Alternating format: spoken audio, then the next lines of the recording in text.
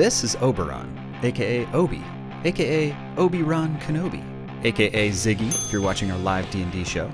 He's a kitten, and by now we hoped he'd grow out of destroying everything, but since he hasn't, we need a way to curtail his mayhem.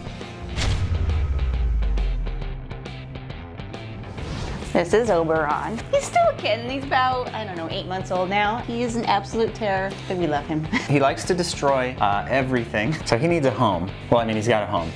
he needs a house. He needs a bed. He needs a a, little, house bed. a little home. We're gonna build a giant jack-o'-lantern cat bed, cat bed, cat house Cat bed house, scratching post. slash scratching post. Yes. You may have seen Evan and Katelyn did something like this where they made basically a cactus version. They used the, the balloon and the paper mache and we kind of got inspired by that. We also got inspired by Sam from our Patreon who was making paper mache pumpkins. Thanks Sam. Thanks Evan and Katelyn. Awesome ideas. We're gonna make our own Halloween version. So this was prototype number one. What we did here is we tied one end of the balloon to the other, so it's like kind of a pumpkiny squat shape. And then the idea was that we would put the strings around it and then tighten the strings, and they would kind of make like the ridges in the pumpkin. Didn't work that well. So prototype number two, we used metal. That seems to work better. It actually like deforms the pumpkin without breaking. So the first step is build the cage. Yes, we want to reuse some of these wires. Maybe. Well, it's a measure. Like how big is the cat? All right, right. Oberon, how big are you? Hey. He's, uh, okay, when he sits like that, 16 inches tall by 24. 16 by 24. Wait. Okay, based on the size of the cat, we think that this is how long we need this to be. I think the easiest way to cut this wire is just to score it with like something like wire cutters, and then you can just kind of bend it back and forth. Ta-da! That worked pretty well. Now we need to make three of these. We're using blue tape with a masterful tape job right there. You're so good at taping things. Thank you. I went to the School of Tapeology. Now what? Now we make it pumpkin shaped. Pumpkin shape. Okay. I think if we bend it in here, then make like the top, Okay. and then we can make it around. So when we blow up, it'll basically end up being like this. And this is where the top of the balloon will be, where we'll tie it, right? So we want to basically pick the middle. Like that? Yeah. Is that too much? No, I don't that's know. fine. So the cage is going to be smaller looking than the actual pumpkin because that'll be the interior ridge and then the, the pumpkin will like expand outside of the cage. This is a lopsided pumpkin. Aren't they all? How are we gonna connect the bottoms here? Oh, I had an idea for that. So this is like wire that you, it's basically also wire, just smaller wire. Okay. So I'll cut off a little piece of this. All right, so now I'm gonna go, I'm gonna twist. This little wire holds it in place, and then we go like this. And now it's nice and tight. And then we can kind of adjust the middle. Why do you keep unshallowing, shallowing my, We can, we can keep re-shallow ruining it. my pumpkin shape. This is not even close to centered, this little bee here. It's not that bad. Have you ever seen a pumpkin? They're so weird looking. We're going for realism I want a champion pumpkin here. It's Gonna win like, First place at the county fair? yes, the Harvest Festival. Those are the biggest, weirdest looking ones that win first place. So here's what I'm thinking. When we connect it, maybe we should put a wire up at the top here too, so it all connects together. And then together. we can like, shoo. Yeah, shoosh it. okay. It should be like all we need. ah, ah. Hey. Yeah? okay, yes. Ooh, look at that, pumpkinish. A plan is coming together. I'm just roughly taping this. Okay. Oh, there we go. Look at this. It's working. Ta-da! It's a pumpkin. okay, that's not gonna stay at all. Just so happens we have an old paint can. You just go like this, and then later, when we lift it, we just cut it right there. This is exciting. Now what? Now blow up the balloon. Is it balloon. balloon time? Balloon time. I'll hold it. You're gonna hold it? Yeah. Okay. At a certain point, I think it'll like hold itself in there. But...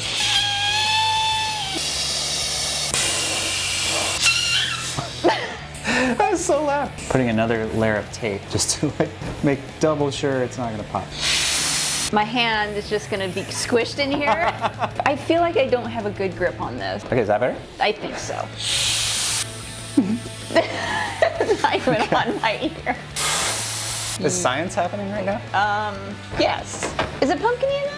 that looks really pumpkin. Are you sure? You're chief science officer. Didn't you go to mechanical engineering school? And then I switched to art. Yeah, so you're the perfect blend of artist and engineer. You should know exactly what to do in this scenario. Maybe a little more. A little more. See? Science. What's it look like? That's awesome looking. Okay. This is Good? really cool. And it's huge. Let me twist it for you. That's, I love it. That looks amazing. Now what? Paper mache time. I've never actually done paper mache. I don't like things that are sticky, you know, like I don't like working with clay. I don't like working with mud and that type of stuff. You don't want to get your hands dirty. I was the kid in art class who was like, I'll totally watch you do that. That's great. So I, I don't know how this works or what to do. I don't either, but we asked on our Discord and they gave us some advice. They said wood glue is kind of one of the strongest materials for paper mache, and I think it dries a little bit faster. And we're gonna put water in there to make it workable. So we're just gonna eyeball it and keep stirring and see how it, what kind of consistency it goes. Mix ingredients with no actual recipe, just eyeball it and wing it, figure it out. Yeah, the Wicked Maker's way.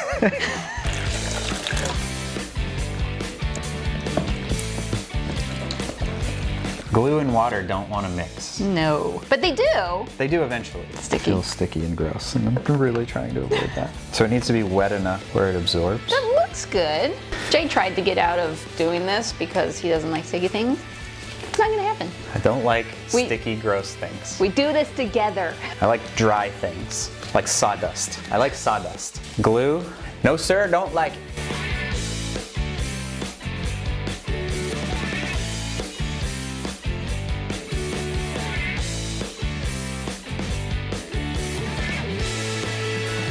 Oh, I don't know. I do not enjoy this.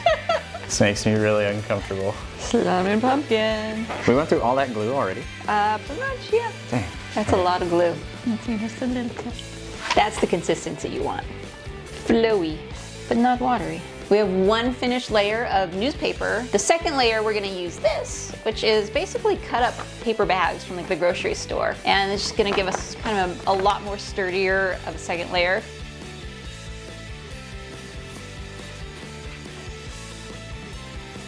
I don't want to jinx it, but this is exactly what it was supposed to do. It's true.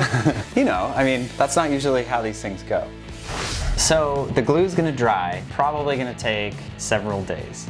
We'll see. Yeah. We'll see. Maybe not. But in the meantime, what are we gonna do? we're gonna dye our rope. So this is sisal rope, and it should dye pretty well. This is 500 feet of rope. I don't know how much we're gonna need. Well, actually, we measured. We did measure. And that should be pretty close. It's really thin because we wanted the, the detail of the pumpkin. If we had thicker rope, we'd lose some of that detail. Probably wouldn't need so much otherwise, but Mm-hmm. we'll see.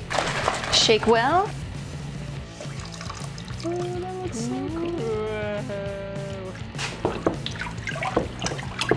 So I'm thinking you like recoil it as you put it in. Or you, or you just do that. That's cool too. Oh boy. Oh boy. All right, never mind. It's just going in. This is gonna be a It's just going in.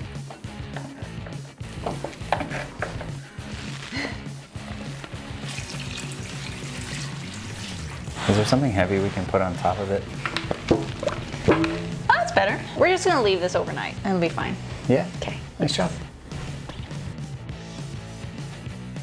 Hey, look at this. It worked. This is like the perfect pumpkin color. Yeah. We left it in overnight and then we rinsed it and let it dry and it's it's so pumpkiny. It is. I think we can just be done with this. Call this yes. for a little while. Oh hey, it looks better. A little bit. A little bit. All right, what happened was we let it dry in here. It was doing great. And then this morning we took it outside because it was nice and hot out. The heat made the balloon inside expand. And it, it literally ripped the paper. Ripped through our paper mache. So I think we're just gonna pop the balloon and see what happens. Wow. That's it? That's it. That's all you get. Oh, Oh, there you go.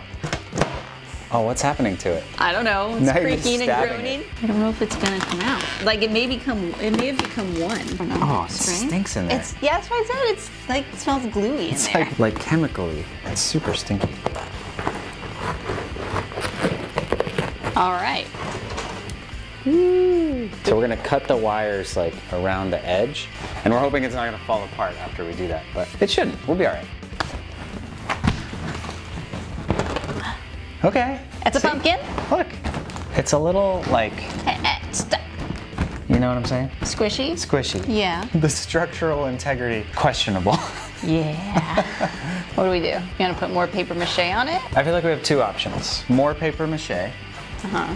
or resin. Okay, we hung up the thing from the ceiling and we're gonna drip resin all over it and give it like a hard coat. Yeah. So And now it's like tether pumpkin.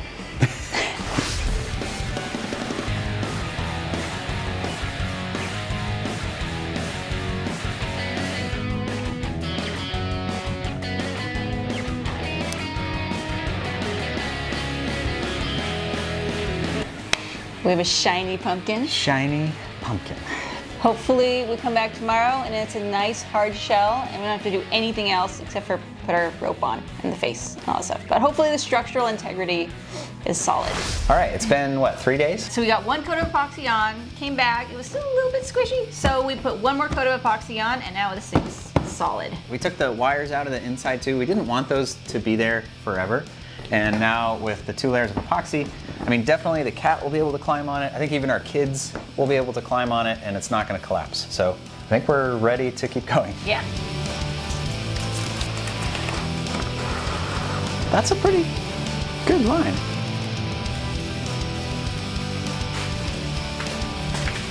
It's a weird concept to be cutting like in and out, but ultimately end up with a straight line. All right, let's test it out.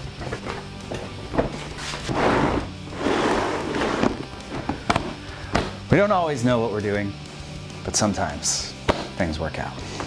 We are trying to decide what the face of our jack-o'-lantern is gonna look like. Looking at happy jack-o'-lanterns. They're so happy. All right, so we're just trying to just sketch out what we want. We know he- he's gotta have like a really big mouth, maybe some, I want this little bit of a turn on the eyes. Probably just needs like a triangle nose. So we'll come up with something cute. We drew out what we want, and then what we did was we took this and extended it because the rope's about a half inch thick.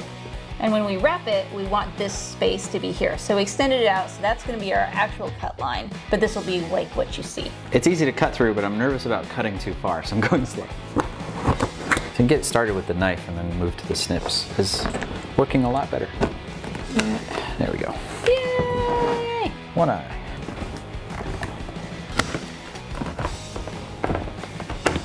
Just realized we didn't tell you guys, but we painted it. We painted it orange. It was really complicated. It's orange. And the middle, black. So yeah, that happened. It's orange, black, we're good. Moving on. it looks awesome. He's so cute.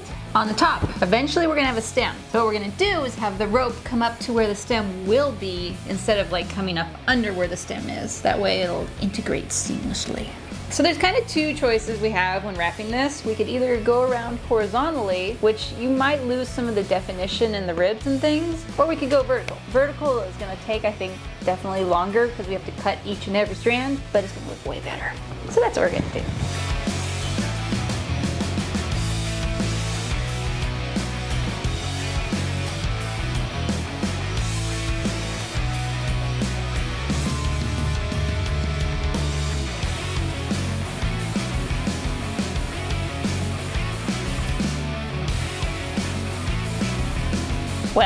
There's good news and bad news.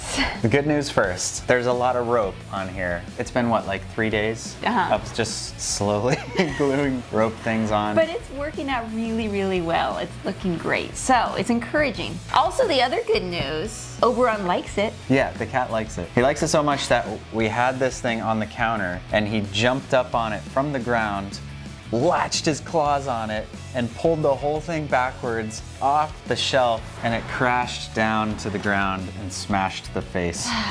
Uh, so, but but he likes it. I'll just keep it in the garage from now on. We can totally fix this though. Most of the damage is right here. This came off, so I think we can like just tape that back on. This too, right here. There's like three major cracks. yeah, How are you gonna fix it? duct tape.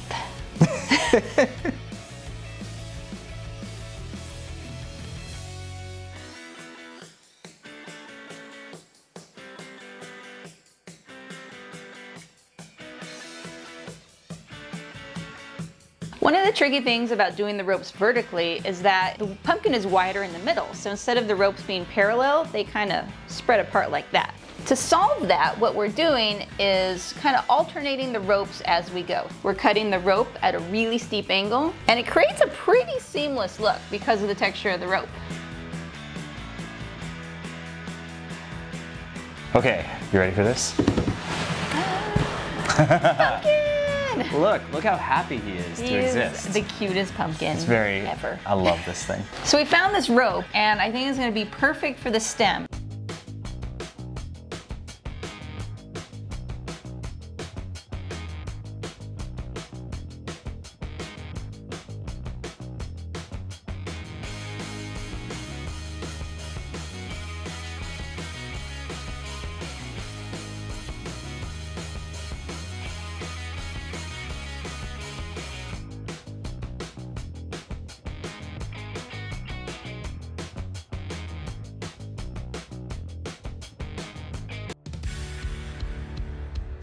Oberon! Look! Hey! Just Oh, there you go. he loves it. He just immediately went in, Uh-huh. He knew like he, instantly. he knows it's his. hey, buddy. You like it? so good. Awesome. Operation Pumpkin Cat Bed is a success. Can you look through the hole? He's looking at me through the hole. Do you like your house?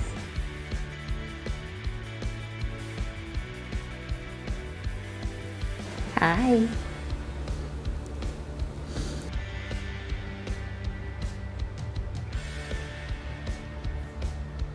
Thanks for watching, guys. Hope you enjoyed the video. Oberon loves his new house. If you want to see more of our projects, check the link right down there. And until next time, stay wicked. Next, we need to live it out. Blech. Okay, go. All right, we need to leave. Nah. The rope walks into a bar. The bartender says,